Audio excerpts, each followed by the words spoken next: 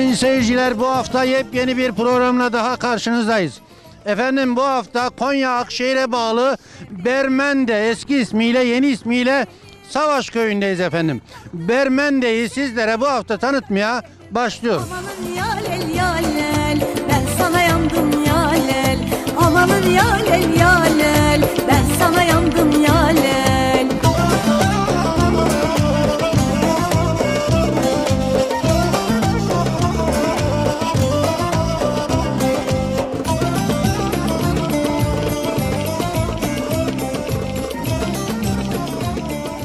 Sayın seyircilerimiz şu anda Akşehir'deyiz. Akşehir'in köylerinden Savaş Köyü'ndeyiz efendim. Yeni ismiyle Savaş Köyü'ndeyiz ve köyümüzde şu anda çekimlerimize başladık. Bermen de eski ismi. Bu köyümüzün özelliklerinden bir tanesi de bölgede en çok balık tüketen köylerimizden bir tanesi. Biz de bugün geldik tesadüfen burada yine biz balıkla karşılaştık. Şimdi köylülerimizden bu balık kültürünü, köyde oluşan balık kültürünü kendilerinden öğreneceğiz. Bakalım balığın bu köyümüzdeki önemi nereden kaynaklanıyor? Neden bu köyde bu kadar fazla balık tüketiliyor? Şu anda görmüş olduğunuz balıklar, ekrana gelen balıklarımız Konya Beyşehir Gölü'nden Tatlısu e, Gölü'nden çıkan balıklar ve çok önemli balıklar bunlar ve bu köyde de bu balıklardan çok tüketiliyor. Bakalım bununla ilgili neler söyleyeceğiz. Efendim sizi bir tanıyalım. Ben Savaşköy Muhtarı Kadir Küçüktop. Öncelikle hoş geldiniz diyorum Çok hepinize. teşekkür ediyoruz. Kadir Beyciğim şimdi biz geldik köyümüzdeyiz şu anda. Köyümüzün de balık kültürünü biliyoruz. Burada da hemen bir balık tezgahıyla karşılaştık efendim. Köyümüzdeki bu balık kültürü, bu balık tüketiminin fazla olmasındaki sebep nedir, nereden geliyor? Buyurun. Valla Türkiye'nin genelde satılmayan tüm balıkları bizim köyümüze gelir tüketilir. Yani bizde bir balık hastalığı, balık aşıklığı var nedense. Bunun dışında bir de salamura balıklarımız olur bizim tuzlama. Birazdan onu da göstereceğiz inşallah. Yani böyle bir kültür var. Çok severiz balık yemeyi. Balık bulgur pilavı, tuzlama balık. Sonra işte böyle büyük balıklardan fırınlara verip ya da kendi herkesin kendi elinde pişirebileceği şekilde müthiş bir balık sevdası var bu köyde yani. Evet şu anda burada gördüğümüz balıklar pullu, sazan balığı dediğimiz tatlı su balığı. Bunlar ne tür yapılıyor genelde köyde? Bunun ızgarasını mı yapıyoruz, tavasını mı nasıl yapıyoruz? efendim? Şimdi o ailenin tercihine bağlı bir şey. Kimisi salçalı bir şekilde fırına sürer. Kimisi böyle yağın içerisinde kavurmasını yapıp kebaba döndürür. İşte kim nasıl yemek istiyorsa o şekilde evinde herkes her şeyi bilir. Kızartmasını yapanlar olur. Balık çorbası yapanlar olur yani işte. Balık çorbası da yapıyoruz. Balık çorbası da Bu yapılır. da ilginç. Evet. Yani hatta biraz tabiri caiz olacak. Bazen de şey denir yani balık ağlamasın falan deyip eski böyle eskilerden gelen boğma rakılar olur. Yani doğal olalım diyorum yani. Eskilerden bunu işte bunu ağlatmayalım diye evde yapma çok eskilerden. Şimdi yok Allah'a şükür köyümüzde de boğma rakı yapılıp bunlarla sofra kurulup gelen misafirlere ikramlar yapılır. Şu anda bu yok diyorsunuz. Yani bu, anda şu anda köyümüzde böyle bir gelenek söz konusu değil. Ama köyümüzde de hakikaten çok önemli balık tüketimi var ve biz bunlardan da örnekler efendim sizlere göstermeye başlıyoruz.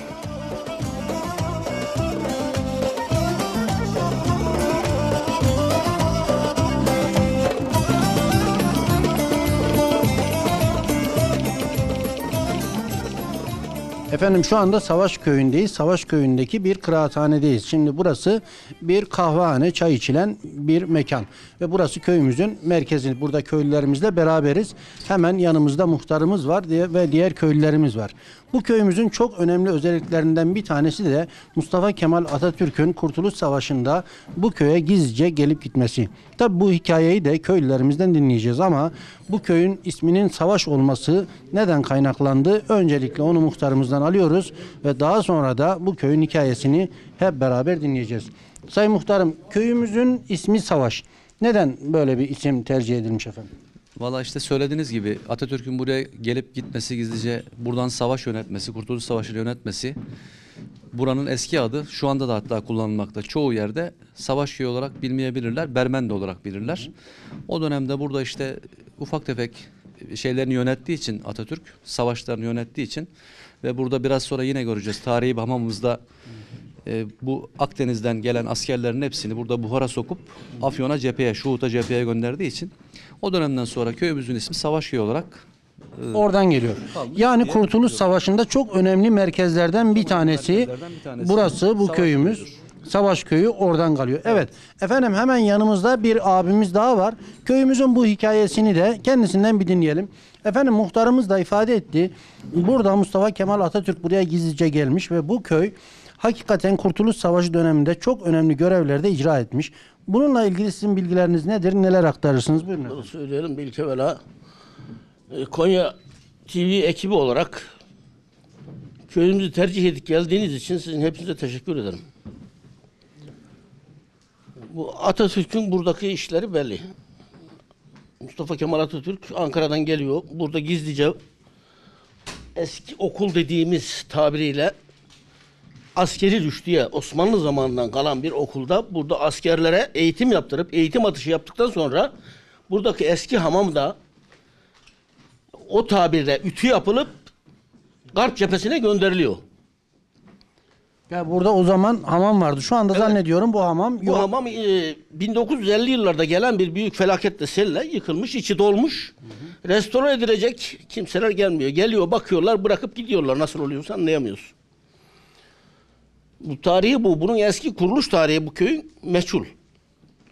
Bir de e, Ege bölgesinden, Ege yöresinden diyelim bir grup insanın bu bölgeye sürgün edildiği. Bu sürgün zayetinde buraya gelip bu bölgede köyler kurulduğu. Bu e, Bermende olarak kurulan, Bermendes olarak kurulan bu Bermendes köyünün bu Sultan Dağı'nın eteklerine gelip burada bir yerleşim yaptıkları, burada kaldıkları ya bununla beraber bu bölgeye 10 tane köy kurulmuş. Oradan gelen sürgünlerden ama biz kendi köyümüzü ilgilendirir. Burasında Rumlarla işte eskiden eee, şu dere var. Dereden öbür tarafının bulunan evler Türk evleri. Oradan bu yanda bulunan evler Rum evleri. Yani siz o dönemlerde 1920'ler döneminde e, köyümüzde Rumlarla beraber yaşıyorduk. Evet. Daha Cumhuriyete sonra kadar. Cumhuriyet, Cumhuriyete kadar Cumhuriyetten sonrası mübadeleyle Yunanistan'daki Atina şey Selanik bölgesinden işte Atatürk oradan mübadele yapmış. Buradakileri oraya göndermiş. Oradakileri buraya göndermiş. Burada biraz zengin gavurlar da varmış yani o zaman. Rumlardan. Onlar da buradan gider ki hatta biz fırın ekmeği deriz. Köy ekmeği yaptığımız ekmeğin içine buradaki şeylerini altınlarını doldurup da onunla gittiği söylentisi de var. yani daha öncelerde burada mübadelede Rumlar vardı ve onlar mübadelede gittiler. Mübadele. Oradan da buraya gelenler oldu, Buraya yerleşenler geldiler, oldu. Yerleşenler oldu. Hatta buradalar adamlar daha. Oradan e, çocukluğunda gelip de buraya çocukluğunda gelenlerden, yaşlılardan da var ama seyredi gayrı. Evet. Peki teşekkür ediyoruz. Efendim burada bir köylümüz daha var. Bakalım onun da düşüncelerini alalım. Efendim sizi bir tanıyalım. Kaçlıyız Hacı abi? 1339'luyum. 90 yaşındayım şimdi ben. 90 yaşındasınız. Allah Evet. selamet versin. Çok Amin. da sağlıklısınız elhamdülillah. Amin. Efendim isminiz neydi? Mevlüt yetim. Evet. Mevlüt Bey siz e, köyümüzün bayağı eski tarihini biliyorsunuz. En azından hem siz yaşadığınız belli bir miktarını bir kısmını da babalarınızdan falan öğrendiniz, duydunuz. Efendim buraya Atatürk'ün de geldiği söyleniyor. Köylülerimiz burada söylediler. Siz de o konularla ilgili bize bilgi verseniz bu köyümüzle alakalı Atatürk buraya nasıl geldi? Burada e, neler yaşandı? Onlarla ilgili buyurun siz dinleyelim efendim. Şimdi Atatürk geliyor o zaman beraber. Şurada kahve vardı. Kahve oluyordu. O zaman helvacı dükkanıymış. Diyor ki şeye helvacıya. Şuradan diyor bir helva kesiyor. Helva kesiyor. Ee, bizimkilere veriyor. O Rumların da çocukları da geliyor. Paşam diyor bunları da verin. Verin verin onları da verin diyor. Onları da veriyorlar helva. Tabii o zaman koyup gidiyorlar sabah olduğu zaman.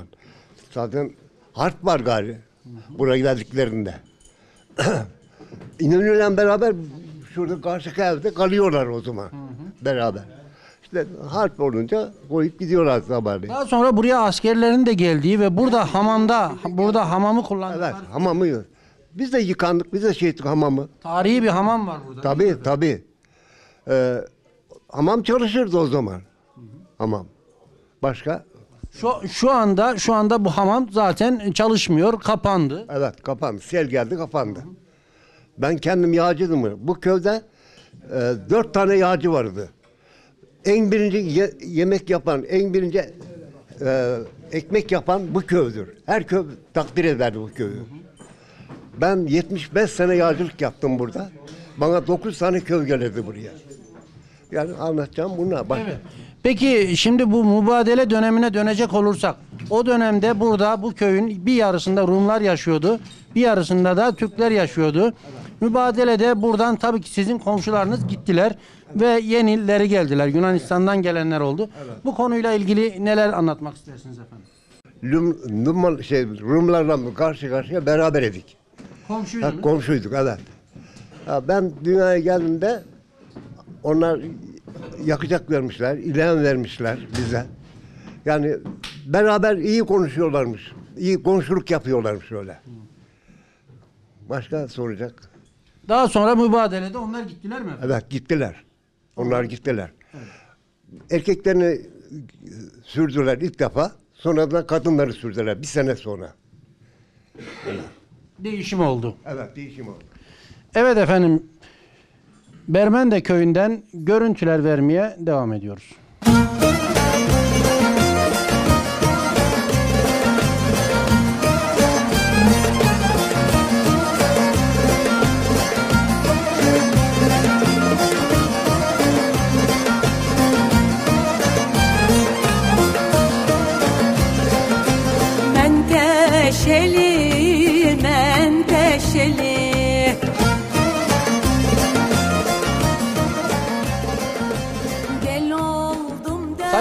Seyirciler şu anda görüyorsunuz muhtarımız da burada özellikle ata biniyor. Böyle bir at merakı var efendim kolay gelsin. Eyvallah. Sizi at üzerinde gördük. Böyle ara sıra işte ata biniyoruz. Seviyorum atı. At seviyorsunuz. Bu Eskiden atın bir gelenek. özelliği var mı efendim? Ne atı diyoruz bu ata? Bu at şavk, safkan, güzel bir Safkan, at. Güzel bir at. At biniciliği yapıyoruz arasında. Yani Sizin başka maharetleriniz olduğunu da duyduk. Böyle e, silah atışlarınız da varmış. Sizin atıcılığınız da var. biraz e, silah aşırı bir bu da aynı kökten gelen bir şey. İlgim alakam Kökten var. gelen ilgi ve alaka. Evet efendim şu anda muhtarımız özellikle at biniciliği ve atıcılığıyla alakalı bölgede tanınıyor. Şu anda bakalım atıcılığını da göreceğiz. At biniciliğini gördük. Gerçekten güzel ama şu anda atıcılığını da merak ediyoruz. Bakalım hakikaten attığını vurur tipte mi? Kendisi şu anda atış yapacak bizim için bakalım.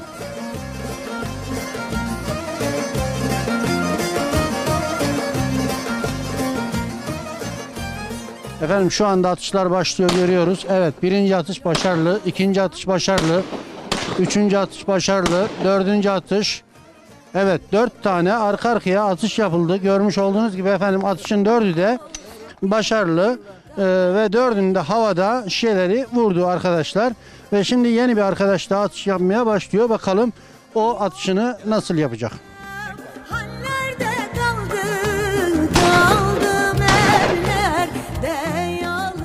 Evet.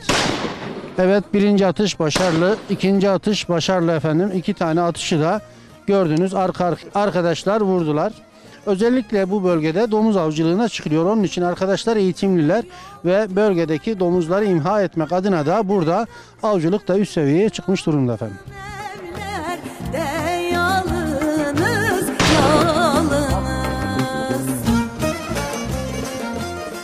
Efendim her köyde olduğu gibi tabii ki bu köyümüzün de bazı problemleri var. Bu problemlerden bir tanesi de sulamayla alakalı. Tarımsal sulamayla alakalı problemlerimizi de Sulama Birliği Başkanımızdan dinleyeceğiz. Efendim sizi bir tanıyalım. Mehmet Mimar. Mehmet Beyciğim şimdi nedir bu köyümüzün sulamayla ilgili problemi? Bakın burada çok güzel de aslında bir akar da var, bir suyumuz da var. Ama bu suyu değerlendiremiyor muyuz? Ne yapalım? Evet değerlendiremiyoruz bu suyu. Baraja ihtiyacımız var. Büyük şeylere bildirdik bir cevap alamadık yukarıya. Kuyular çalışıyor. Kuyularda fiyatlı geliyor vatandaşa. Bizim kaynağımız kiraz, fişne ka- karşılamıyor yani. O çok kuyuların burada üretimlerimiz kiraz ve fişne vişne. ile kiraz yani. Ama suyumuz yetişmiyor. Yetişmiyor yani. Kuyu suyu da fiyatlı geliyor vatandaşa. Peki bu akan su boşa mı gidiyor? Boşa gidiyor. Bir damlamaya müracaat ettik. Oradan cevap alamadık. Yani baraj yapıp damlamaya geçmek istiyoruz. Bu çok önemli. Tabii önemli yani. Evet buradan biz de duyuruyoruz. Gerçekten Bermende'nin Savaş Köyü'nün suya ihtiyacı var. Halbuki burada boşuna akan bir su var ama bu suyun önünün tutulması ve belli bir seviyede tutulması Bermende Köyü'nün ihtiyacını karşılaması adına kullanılması gerekiyor. Onu da ekranlar aracılığıyla yetkililere buradan duyuruyoruz efendim. Efendim Bermende'nin en önemli tarihi yerlerinden bir tanesi de buradaki hamam. Bu hamamın çok büyük özelliği var. Çünkü Kurtuluş Savaşı'ndaki askerlerimiz o dönemde özellikle bu bölgeye sevk edilmiş ve bu bölgede bu hamamı askerlerimiz kullanmışlar. Bu konuyu e, muhtarımızdan ve köylülerimizden dinleyeceğiz ve buranın tamiratıyla alakalı da çalışmalar var. Onları da kendilerinden alacağız. Efendim burada çok önemli tarihi bir hamamımız var ama hakikaten çok kötü bir durumda. Maalesef. Bununla alakalı bir bilgi alsak bunun hamamın geçmişindeki konumu nedir? Bugünkü durumu nedir? Şimdi hamamımızın özellikle e, bilinen tarihi yok. Türkiye'de iki tane olduğu söyleniyor. Ya da üç tane rivayetlere göre değil. Bayağı açıklanmış bir şekilde Türkiye'de üç tane. Bir tanesinin Bursa'da bir ilçede olduğunu duydum. Bizde Kadınan'da. Bir tanesi Kadınan'da bir tanesi de burada. E, camimizle hamamımız aynı yılda yapıldığı söyleniyor. 18. yüzyılda. Hamamımız aktif durumdaymış. Atatürk burada karargaha cepheye giderken askerini buhara sokup cepheye gönderdiği bilinen bir gerçek. Aktif durumdayken 52 ya da 54 yılında DSİ kurulmadan çok büyük bir sel felaketi geçirmiş köyümüz. E, Burası eski okulun olduğu yer. Buralar daha düzgün, daha süper yerlermiş ama maalesef çok büyük sel felaketi geldiğinden dolayı yaklaşık hamamın buraları belki de görünen yerler pencereleri. Yani o kadar dolgu olmuş düşünün yani. E, müthiş bir tahribata uğramış. Ben de muhtar olduktan sonra benden önceki arkadaşlarım da yapmışlar müracaatlarını. E, buradan giden kaymakamımız Sayın Ahmet Katırcı ile birlikte bir çalışma yaparak bazı projeler hazırladık. Hatta geçen yıl 15 bin lira para verip Konya'dan mimar arkadaşlara statik projesini çizdirdik. Hatası, arızası nerede, ne yapılabilir falan diye. İnşallah bu yıl çok umutluyuz. Yani çok güzel bir turist akımı var köyümüze.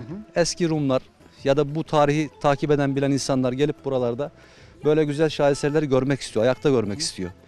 Biz de devletimizden, bakanlarımızdan, milletvekillerimizden bu konuda yardımcı olmalarını istiyoruz. Yani tarihi öldürmeyelim.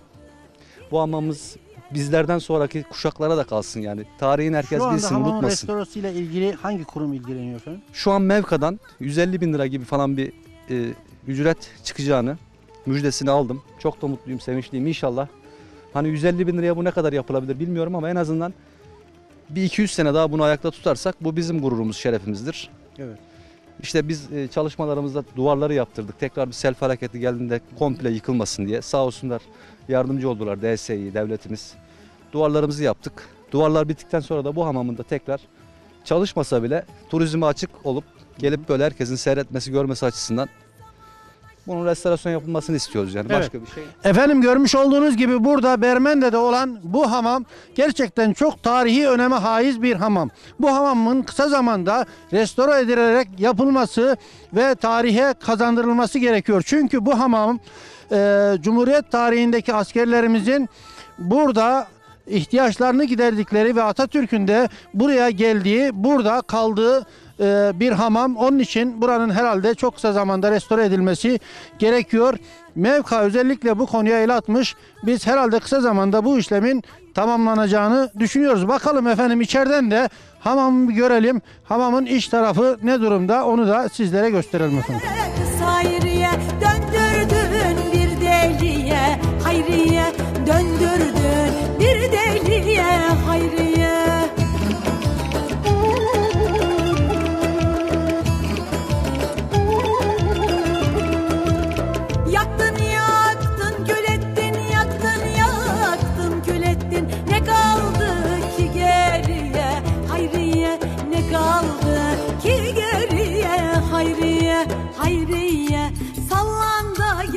Efendim şu anda görmüş olduğunuz gibi Bermende köyündeyiz ve bir ocak başındayız. Ocak başında şu anda saç böreği yapılıyor. Tabii ki bu bölgedeki saç böreğinin is- ismi katmer. Katmer yapılıyor ve bu katmer nasıl yapılıyor onu da burada köylülerimizden öğreneceğiz. Efendim önce sizi bir tanıyalım.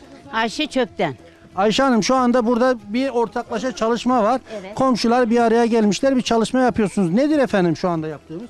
Şimdiki yaptığımız katmerdir. Bizde. Katmer yapıyoruz. Evet katmer. Katmer nasıl yapılıyor? Seyircilerimize şöyle bir anlatın. Ee, yapacağız yiyeceğimiz kadar un, içine unu şeye çıkaracak kadar su, e, bir kıtmir tuz, onunla yoğururuz, açarız.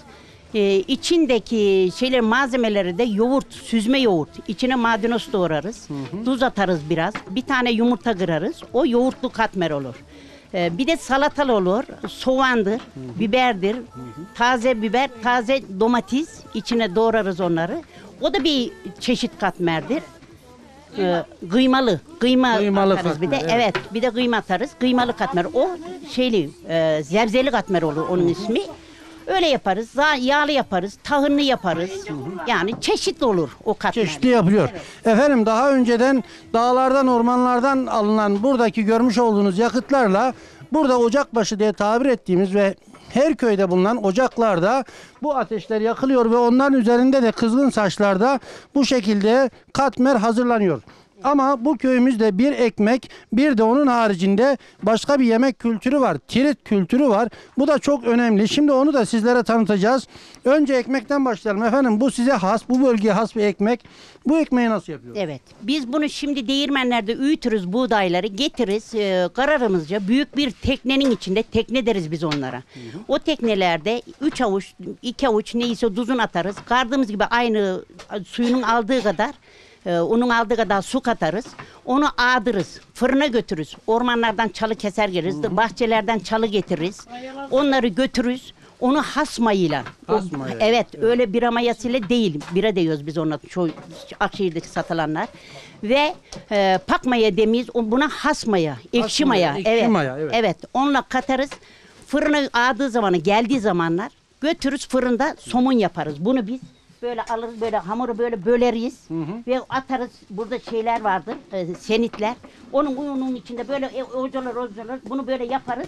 Bir de sularız bunu böyle alırız fırına. Fırına gider o. Fırına gider. Evet fırına gider ve fırında pişer bu Ee, yarım saat veya 45 dakika durur. Bunun pişmesine bakarız. Pişti mi pişmedi mi? Piştiyse çıkarız. Hani ondan sonra bunları eve götürürüz. Eğer fazla ediyorsan bazen ekmekler 22 günde falan biter. Çok ettiğimiz için. Ha bunları dilim dilim yapar fırına so- soba atarız. Biz fırını soba deriz. Kuzene geçer onlar. sobası. Hı hı. Ee, onlar da ısıtır. Ee, şey tereyağı olan, e, şey becel yağı olan onlardan sürer. Kahvaltımızı yaparız. Ama bir de bunun kiridini yaparız. Efendim bakın görüyorsunuz burada ekmekler gerçekten çok büyük kabarmış bir ekmek ve çok sert yapılı bir ekmek.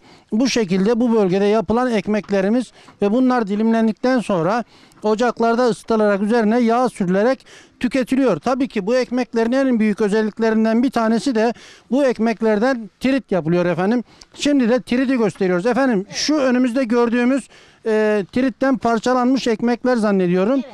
Ee, evet. Bundan bundan kestik. Yarısını size göstermek için bunu böldük böylece doğradık. Doğranır. Bu düğünlerde genellikle düğünlerimizde, evlerimizde e, yapılır. Bunu doğrarız. İçine e, etimizi pişirdiğimiz zamanlar trit yaparız. Bunu etimizi Evet. Efendim önceden hazırlanmış et Evet. var. Bakın evet görüyorsunuz. böyle dökeriz. Onu Evet. hazırlanmış olan ekmeğin üzerine Evet. Böyle yapar. sulu bir şekilde Evet. etimizi Evet. e, döküyoruz. Ha, bunun suyunu bol katarız. Neden su şeyi ekmeği ıslansın ve bol su olsun diyerekten böyle yaparız. Bu köyümüzün geneliğidir bu. Ekseri bunu yaparız. Ve bu şekilde de ekmekler de boşa gitmemiş oluyor. Gerçekten çok önemli yemek kültürlerinden bir tanesi. Bölgelerimizde tirit, ekmek üzerine sulu et efendim hazırlanıyor ve o şekilde veriliyor. Tabii ki baharat da var. Buyurun. Evet, karabiber, kırmızı biber, herkes ne isterse. Yani onu yaparız. Bir de bunun yanına toğu çorbası yaparız. Yayla çorbası denir o. Yoğurtlu yapılır, yarmadan yapılır o. Ee, onu da yaparız. Mesela isteyen yani isteyen yapar onu. O genelliklerde düğünlerimizde olur. Eskiden kalma o. İşte bunları yaparız. Bir de pilavımızda tuzlu balığımız var. O da yukarıda. Tuzlu balık, balık. Evet. Ekseri o tuzlu balık hele hele te şeylerden, dedelerden, nenelerden gelme o tuzlu balık. Eskiden e, küpün içinde, e, sırlı küplerin içinde böyle hep bir sıra balık, bir sıra tuz, iri tuz. E, balık kapanasıya kadar tuzlayacaksın onu, üstüne bir sıra daha koyacaksın. Öyle öyle öyle öyle. Biz de onların nenelerden, dedelerden, annelerden gördük. Biz de yapıyoruz şimdi şu an. Biz de onu yiyoruz. Hani gelenekli pilavımız, tuzlu balığımız, tiridimiz ve e, yarma çorbamız. Yarma çorba. Evet, yarma. Bunlar bölgemize has olan Evet, yemeklerimiz. evet, evet. Evet efendim şu anda balığımızı da görüyoruz. Bakalım balığımız nasıl yapılmış onu da göreceğiz.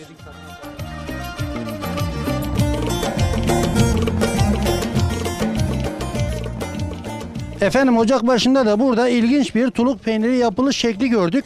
Bunun da ne olduğunu kendilerine hep soracağız. Efendim burada bir tuluk peyniri var. Herhalde bunu siz yapıyorsunuz. Bu nasıl yapılıyor? İçinde ne var? Bizim malımızdan sararız. Getirir suda pişiririz.